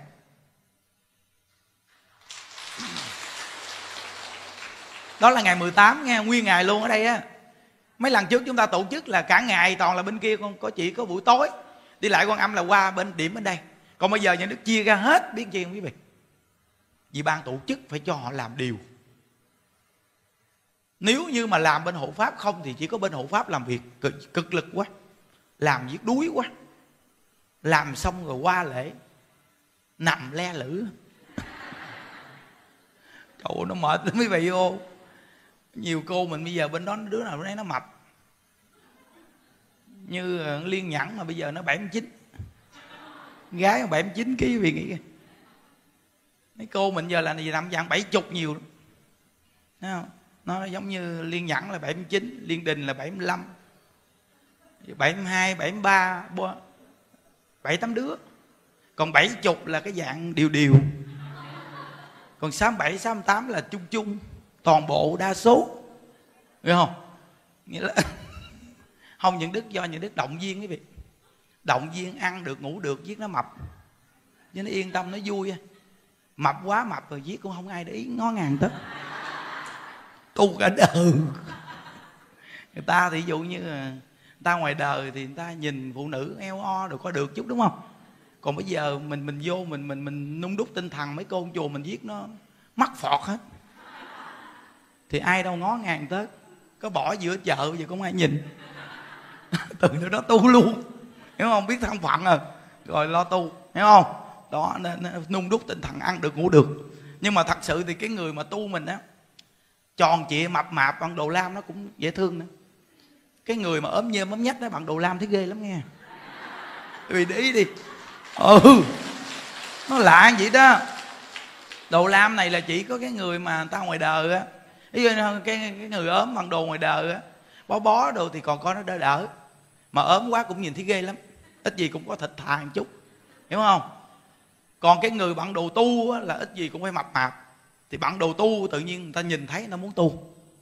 Còn cái kiểu mà tu mà trong chùa mà ăn chay niệm phật giết mà nó ốm nhơm da bọc xương mà bạn đồ lam mà nó đi mà gió bay ấy phật vơ phật vơ đi. Đi trời trời nó đi với mình là gọi là ma cà rồng nó đi vậy đó người ta nhìn cái là người ta nói thôi, thôi, thôi, tu tôi thấy an lạc cái gì chờ chờ. An lạc gì đâu mà nhìn gì đâu mà thấy ghê. Da bọc xương mà đi gì gió thổi bay bay kỳ cục quá. Người ta không có tu. Nên nó vô chùa mình là người ta mà nghe những đức nói ăn chay niệm phật khỏe là người ta tin à. mấy cô mình mấy thầy đồ như những đức đồ cũng mập mạp không à. Ai cũng mập chứ nên ta nhìn thấy ta nói ăn chay đâu có thiếu chất dinh dưỡng. Hiểu không? Nên khuyên người ta ăn chay nó dễ còn nếu như mà ta ấm như mình ấm như ấm nhách, mình nói ăn chay khỏe, tao không tin. Nó nói khỏe cái gì mà khỏe? Trời là trời tôi nhìn ông mà tôi thấy gớm. Khỏe. Da bọc xương đi, gió thổi bay bay mà khỏe gì chợ cả nhóm từ thầy cho gì nhìn thấy ghê. Đi gì đâu mà xương sốc không. Kỳ cục, hiểu không? Là tự nhiên người ta không có tin là ăn chay khỏe đâu. Nhưng mà ta vô chùa mình ta thấy rõ ràng ăn chay khỏe. Người nào cũng khỏe khoắn mập mạp, da thịt đầy đủ, mỡ cũng có chút địch. hiểu không? Đó nên từ nơi đó mà ngày 18 là chúng chúng ta tổ chức với ông âm nguyên một ngày ở đây. Khắp nơi nơi quý vị nên tập trung về. Để làm chi? Chùa mới mà quý vị. Dẫn người ta về. Để người ta về đây có nhiều người người ta cũng đi lên phòng ốc. Có nhiều người người ta muốn ở luôn người ta đi coi nghe.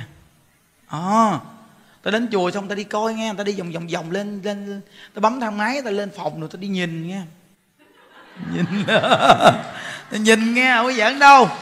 À nó người ta nhìn, người ta coi cái phòng ốc làm sao, phòng rộng không, ở có làm sao nhà vệ sinh làm sao, có khi người ta vô nhà vệ sinh ta còn giỏi cầu thử nữa chứ. Coi nước có thông không nữa, thấy chưa? Người ta coi xong hết cái đầu ta về, ta, người ta đồn ta đồn ra. Ở mấy bà già, mấy người nhiều người ta vậy đó. Người ta đầu ta về, ta nói, công nhận thiệt cậu chào, chùa gì đâu, đi thang máy không bà bà. Phòng rộng dữ lắm luôn nhà vệ sinh đồ trong phòng luôn mà có nguyên một khu. Vệ sinh mà mới cắt xong sáu chục cái nhà vệ sinh. Nó sạch sẽ chỗ phơ đồ kế bên tiện lắm bà ô mà đồn nhau đồn nhau. Ờ, để để bữa nào tôi bà vô cộng tu thử từng từng. Tìm hiểu kỹ rồi tính nữa nghe. Chứ tôi thấy tôi với bà già bây giờ ở trong chùa tôi thấy yên hơn là ở nhà. Chứ tôi thấy mấy đứa con mình nó không biết tu gì. Tôi thấy tôi với bà mà ở nhà tôi thấy sau này kẹt. Coi chừng nó xử tôi với bà tôi nghe thầy đức nói tôi cũng ớn nó không biết làm sao giúp á. mình ở nhà là nó có chừng nữa. Nó khi mà mình sắp sửa chết nó nắm tay nắm chân nó kéo nó giật mình. Hiểu không? Rồi xong mình mình, mình vừa chết cái nó nó nó, nó hỏi ờ, coi coi ngày giờ hai ba tiếng sau nó liệm luôn. Lúc đó kẹt chứ lắm nó liệm liền. Tại thường là vậy đó.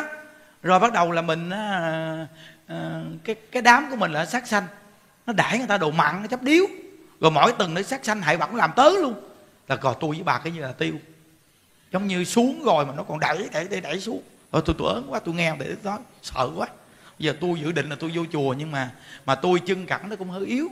Nên tôi coi chỗ nào ở mà có phòng mà có nhà vệ sinh đâu mà tôi nghe chùa mới nó có bà ơi.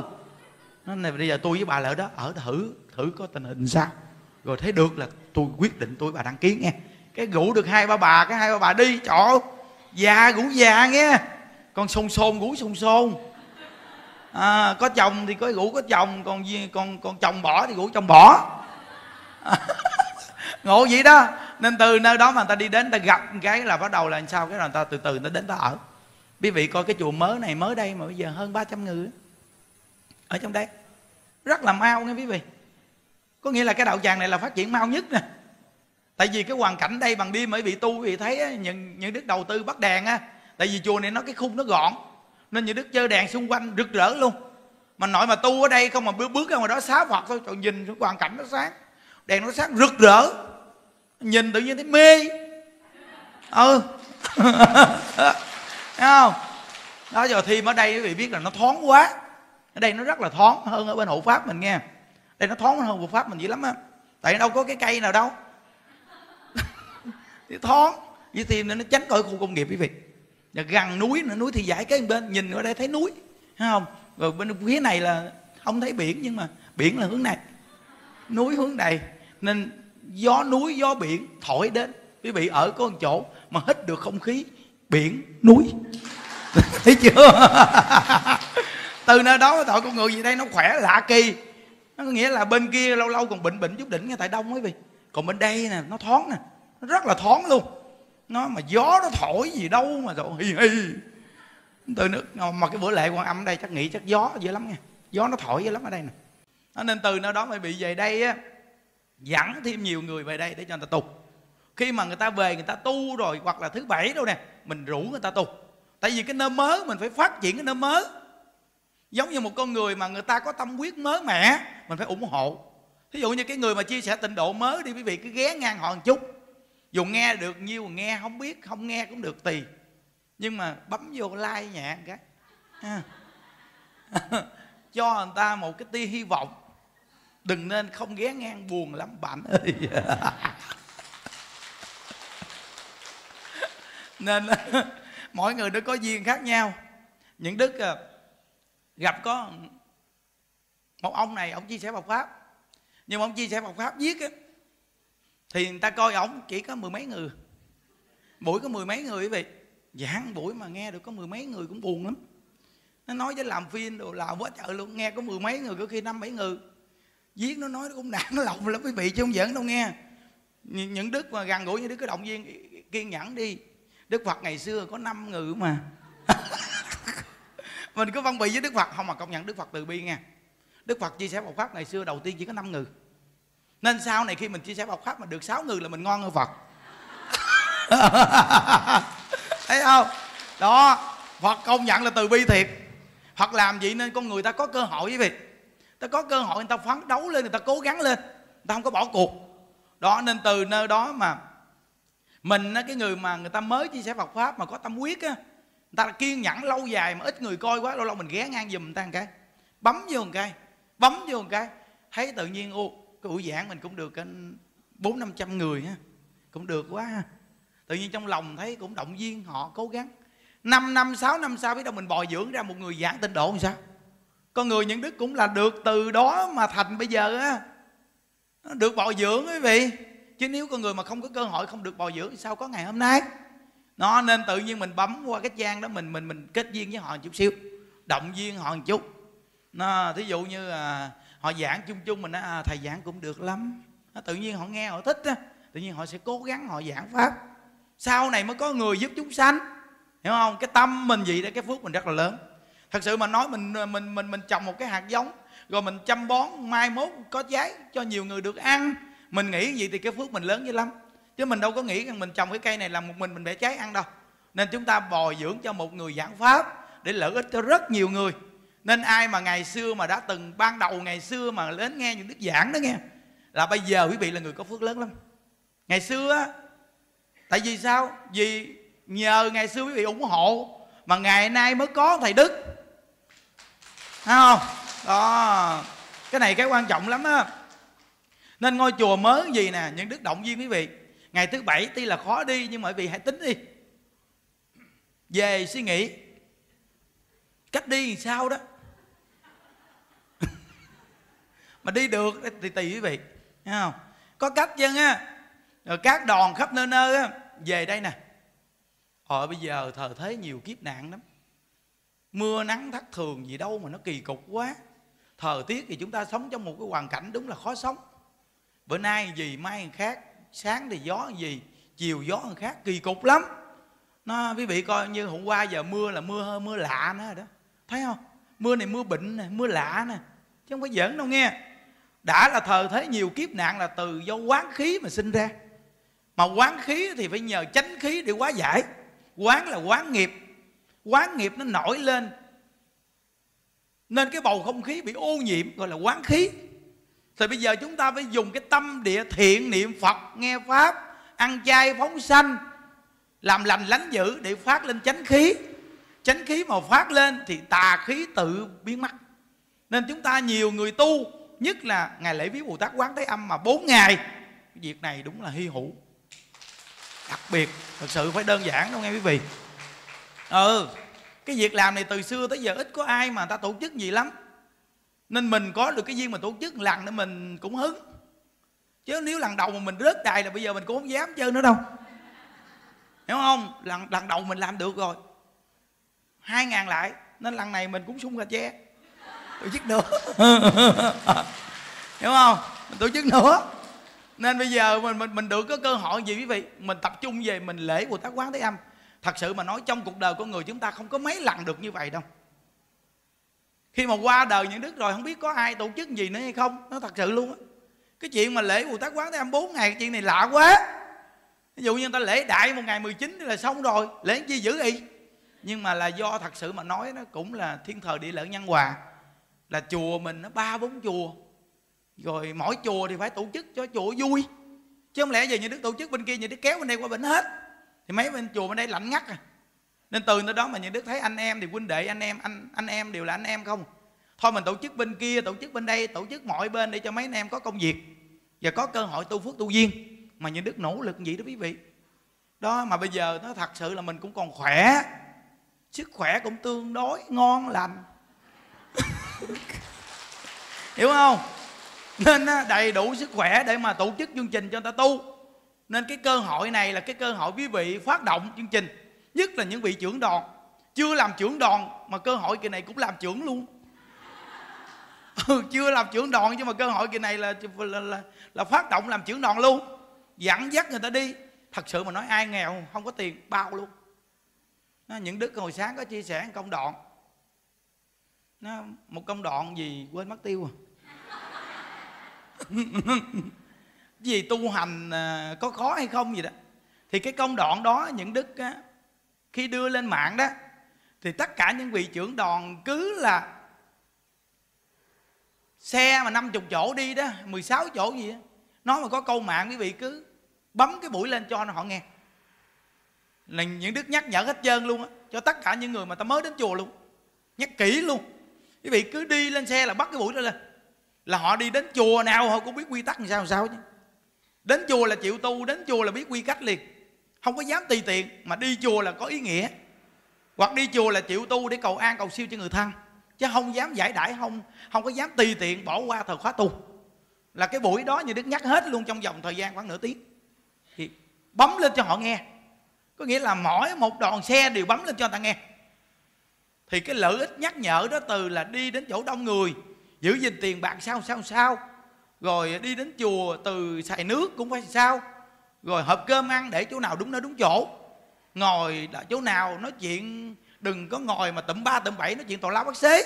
Nó rõ chân trong đó luôn đó quý vị. Nửa tiếng hồ. Đó nên mình nhắc nhở từng chút từng chút từng chút. Quý vị kết hợp những đức gì tất cả những vị trưởng đoàn tập trung người. Người nào nghèo khổ quá, bao xe cho đi luôn nghĩa là mình là mình hiểu rồi quý vị. Trong cái cuộc đời này mình hiểu rồi. Sanh công an đến, chết công an đi, thật sự, tu phước tu duyên được rất là mừng. Tu phước tu duyên được rất là mừng. Bây giờ chúng ta đang ngồi đây thật sự mà nói cuộc đời của người chúng ta đêm nay ngủ biết làm sao?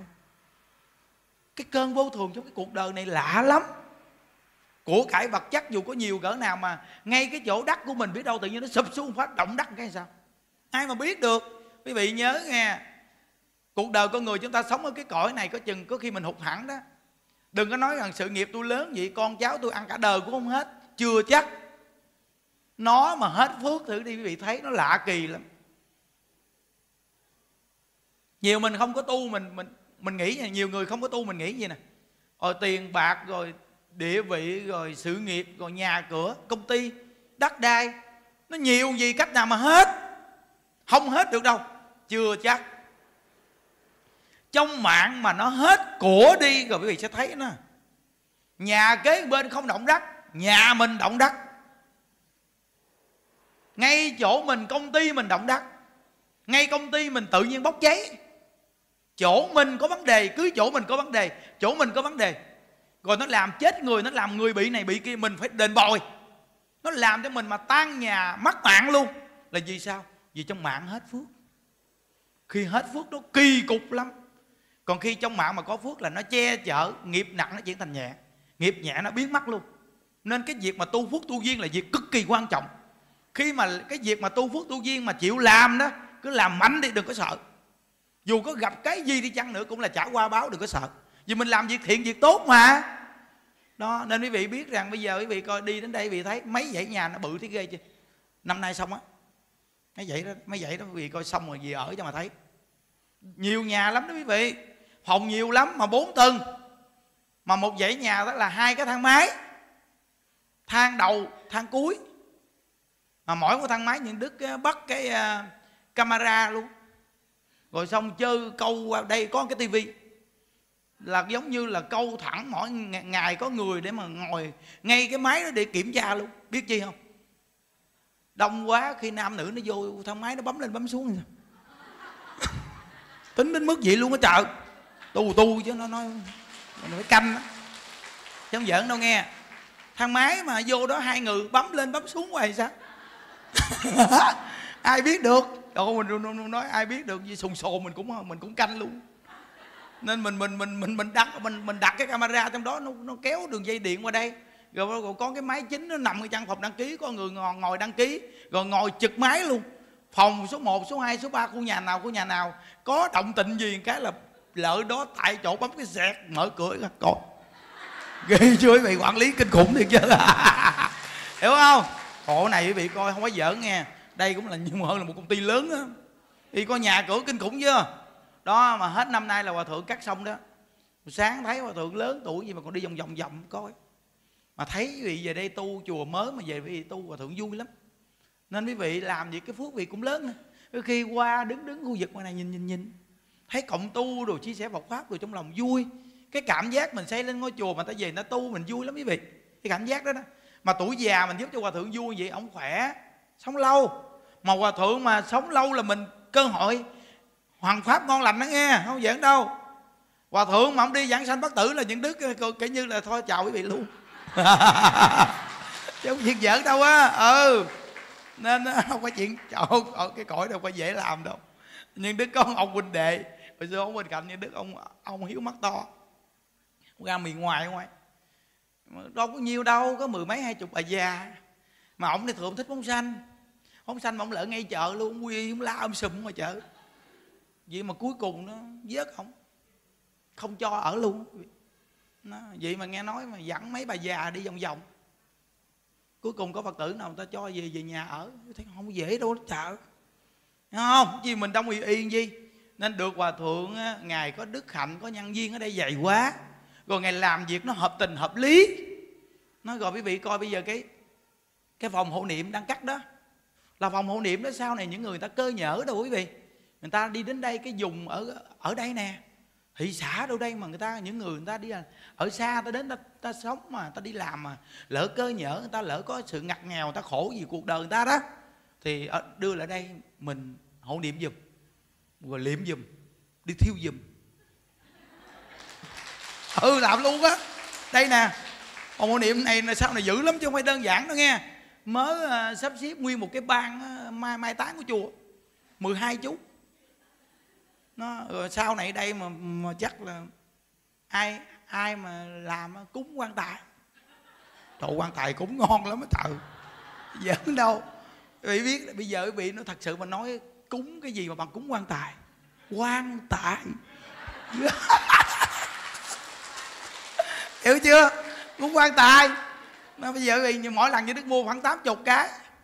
Thì bên kia ba mười lăm mà đại ông lâm mười lăm rồi bên đây năm chục, tám chục.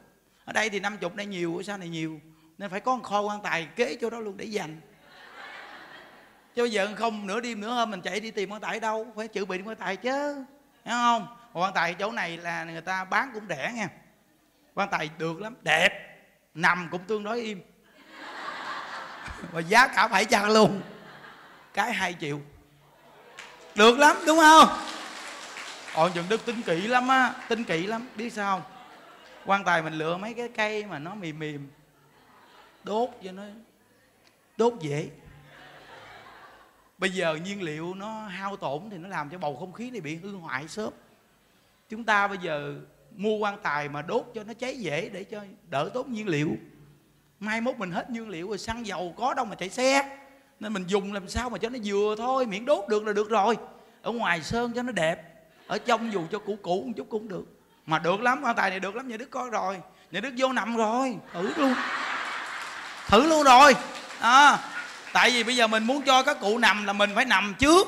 Để mình coi cái quan tài này cỡ tướng mình mà nằm vô làm sao? Thì những đức nằm vô cũng lúc lắc cũng tương đối. À, nằm vô nó cũng mềm mại lắm. Được lắm các cụ ơi. À, nó nên ai mà vô chùa mình he là quan tài chùa mình là quan tài rẻ thôi nhưng mà đẹp đặc biệt ở trong cái kho quan tài để niệm phật suốt luôn. Nên khi quý vị nằm vô cái quan tài nó cảm thấy như là nó sự thích thú gì đặc biệt lắm nghe. Đó, nên quý vị thì thấy như đức chia sẻ khóa có gì đâu. Rất là đơn giản. Tại vì sao? Phật pháp áp dụng trong cuộc sống nhân sinh thì chúng ta sống an vui tự tại, đúng không? Hãy nghe tự tại không? Nghe thấy cười hoài đó thì tại sao mà nói về cái chuyện chết chóc rồi sống chết, nói giàu nghèo? Vì cuộc đời con người ta thật sự mà nói, cả đời của người ta danh lợi hơn thua. Rồi cuối cùng đi chỗ nào? Bệnh đau và chết. Ờ nghĩ, cuộc đời của người cứ là như vậy. Nhưng đức coi lịch sử nghe quý vị, nhưng đức thấy đúng là sự hơn thua, đấu đá tới ghê thiệt. Lịch sử ha, coi phim lịch sử đâu coi thấy tòa mình đúng là ngao ngán thiệt, mình nói không biết đủ nghe quý vị. Không biết đủ mà cuối cùng ngay cái không biết đủ mà chết. Thấy chưa? Nên chúng ta bây giờ học đạo hiểu rồi, biết đủ thường vui. Sống mỗi ngày có ba buổi cơm được rồi. Trời, gặp nhau gì là mừng lắm rồi. Đúng không? Gặp nhau gì là quá đặc biệt rồi. Rảnh rảnh chạy là chùa tu. Lúc nào lễ lộc chạy đến chùa tu. Đúng không? Bữa nào rảnh rảnh chạy đến chùa ăn bánh xèo. thật sự mà nói chùa mình nó là một đại gia đình. Lúc nào gì, thứ bảy, chủ nhật dẫn con cái đến chùa hết. Dẫn thêm cha mẹ, ông bà được luôn. Đúng không? Có nghĩa là dẫn đến chùa được ở hết. Đi đến chùa là ăn cơm, ngồi ăn chung nhau. Rồi nó cảm thấy như là nó ấm áp làm sao á. Nó tuyệt vời lắm. Nghĩa là những đức muốn á, là ngôi tam bảo nó trở thành một cái nhân sinh sống cho con người ta. Ai cũng được nhờ đúng cái câu chùa là tổ ấm ta về quý vị. Phải không? Về đây là cảm thấy như là một cái tổ ấm của mình vậy đó. Tự nhiên về đây giàu nghèo gì gì đây cũng bình thường à. Những việc mình làm được thì mình làm, có ai ép mình đâu. Đâu ai ép đâu quý vị. Thí dụ như bây giờ những đức ngồi đây giảng xong rồi bây giờ quý vị lên gì cũng dường tiền. Đi có hàng có hàng lên. Kẹt á. Sao kẹt? Cái hàng kia đi có tiền cúng, rồi lỡ cái bà kia không có đem tiền theo, bà lạng hả? Cái bà kia không có tiền là bà lạng, đường sao? Xong nó trốn mất tiêu. Sao vậy? Mắc cỡ. Đúng không? Còn giờ mình đi về chùa thùng tam bảo, mình muốn cúng, mình cúng cúng thì thôi, tùy khả năng mình. Còn cái việc tốt, việc thiện đó mình làm được, mình làm. Chứ có ai kêu ông cốc, ông xài, ông hỏi và và bà én cái gì đâu mà mà mà ngại. Ví dụ như những đứa kêu ông cốc, chùa, xây dựng, ông cúng đi ông cốc. Nó trời là trời, tôi có tiền, thầy kêu ngay con, ngại quá. Đúng không? Hoặc là người ta kêu ép cúng dường đi, ép. Thì mình nói, trời ơi, thầy ơi, con lúc này con kẹt lắm, chắc con hết dám đến chùa thì kêu con cái này cũng sợ quá. Đúng không? Còn bây giờ người ta nói chung chung cái việc thiện, việc tốt. Rồi người ta vạch qua định luật nhân quả, người ta vạch qua cái vô thường. Người ta vạch ra cái chết rồi không cảm thấy được gì, cho mình nhìn thấu rồi mình mới buông ra. Nhìn thấu buông ra thấy chưa? Hiểu không?